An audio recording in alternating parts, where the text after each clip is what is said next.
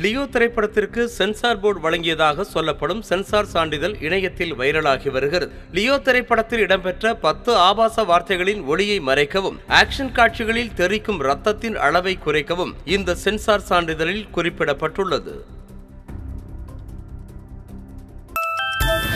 செய்திகள் நூறு நாள்தோறும் காலை ஆறு பத்து மணிக்கு மற்றும் இரவு ஒன்பது மணிக்கு நமது நியூஸ் தமிழ் தொலைக்காட்சியில் காண தவறாதீர்கள்.